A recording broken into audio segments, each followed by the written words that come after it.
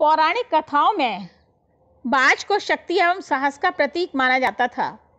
बाज का प्राचीन काल से द्वितीय विश्व युद्ध तक दुश्मनों द्वारा कबूतरों से संदेश का आदान प्रदान करने से लिए प्रयोग किया जाता था। इतिहास इस बात का साक्षी है कि बाज को पालतू बनाकर पालने का बादशाही शौक माना जाता था। मैसीपोटेनिया की सभ्यता से स्पष्ट होता है कि ईशा से 1200 साल पहले बाज पालतू पक्षी का कार्य करता था। छठी शताब्दी से पहले यूरोप में भी बाज पालतू बना करके प्रशिक्षित करने का और शिकार करने का अमर अमीर व्यक्तियों का अनोखा अंदाज था।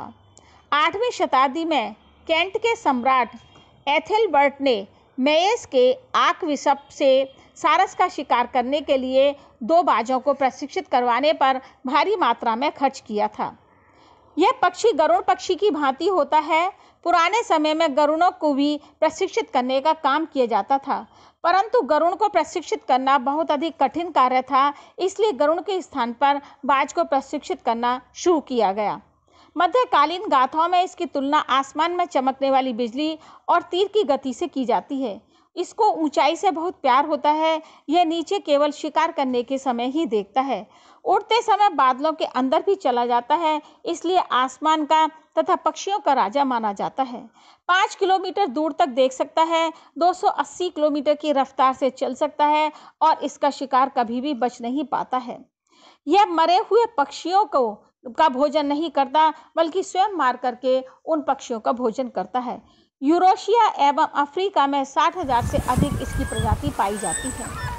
मुगल काल में लाहौर, आगरा एवं दिल्ली में जब दुर्ना एवं सारस पक्षियों के शिकार पर प्रतिबंध लगा दिए गए थे, तब राजा, बादशाह एवं शाही परिवार बाज के माध्यम से ही शिकार करवाते थे। युद्ध में जीतकर लौटने वाले राजाओं ने भी बाजों को प्रशिक्षित करने एवं शिकार करने का चलन विकसित किया था। तेरहवीं शताब्दी से सत्रहवीं शताब्दी में यूरोप में बाजों को पालने का सामंती एवं मनोरंजक शौक बन गया था। मुगल सल्तनत बाबर को बाज पालने का बेहद शौक था। अकबर एवं शाहजहां अपने बाज के साथ शिकार करते थे। जहांगीर ने तो चार हज़ार बाज पाले जिनके प्रशिक्षण और पालने पर बहुत अधिक मात्रा में खर्च किया था।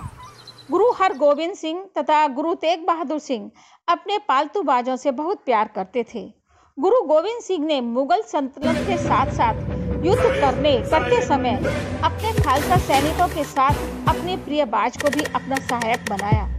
गुरु गोविंद सिंह अपने बाज को स्वयं अपने हाथों से खाना खिलाते थे। अगर पंजाब के किसी गाँव में बाज आ जाता था तो शुभ और गुरु के संदेश का सूचक माना जाता था। बाज को प्रशिक्षित करने के लिए शिशु बाज का प्रयोग किया जाता है। बाज को प्रशिक्षित करते समय उसकी आँखों पर एक विशेष प्रकार की टोपी से कवर कर देते हैं। दोनों पैरों को बांधकर अंधेरी सुनसान जगह पर छोड़ देते हैं। ऐसा करने पर बाज धीरे धीरे उस व्यक्ति को पहचान लेता है। फिर प्रशिक्षक उसको प्यार से अपनी उसकी पसंद का खाना खिलाता है अपने हाथों से। इसके बाद चमड़े के दस्ताने पहनाकर प्रशिक्षक अपने हाथों पर बिठा करके इधर उधर घुमाता है। ऐसा एक महीने की ट्रेनिंग देने के बाद उसके पैरों में डोरी बांधकर उड़ने और वापस मालिक के पास आने सिखाया जाता है। जब प्रशिक्षक का कहना मानने लगता है, तब हवा में उड़ने वाले परिंदों का शिकार करना सिखाते हैं। निरंतर अभ्यास करते रहने के कारण यह इतना होशियार हो जाता है कि उड़ते हुए कबूतर तीतर बटेर मैना का शिकार बड़ी आसानी से कर लेता है। आदिवासी अभी भी पालते हैं। ऐसा माना जाता है कि आदिवासी अभी भी शिकार करने के लिए बाजों को पालते हैं। आदिवासी कहते हैं जिस पेड़ पर बाज अंडे देते हैं उस पर नज़र रखते हैं। जैसे ही अंडे निकलकर उड़ने की तैयारी करते हैं आदिवासी पकड़ लेते हैं और पालकर शिकार करने के योग्य बनाते हैं। आदिवासी कोई छोटी सी चिड़िया देखकर बाज के को के सामने छोड़ देते हैं। बाज उस पर झपट्टा मारकर नीचे गिरा देता है। आदिवासी उठ, उसे उठा लेते हैं। जब से चिड़िया मारने की बंदूक बनी, तब से बाजों को पालने का शौक कम होता चला गया। लेकिन अभी भी सीविया सऊदी अरब, पारस की खाड़ी के देश और ईशान में पाले जाते हैं। अंत में यह निष्कर्ष निकल कर आता है कि बाज को हर काल के अंदर अपनी भूमिका का बड़ी शौर्यता एवं बहादुरी के साथ और वफादारी के साथ निभाने वाला माना जाता है।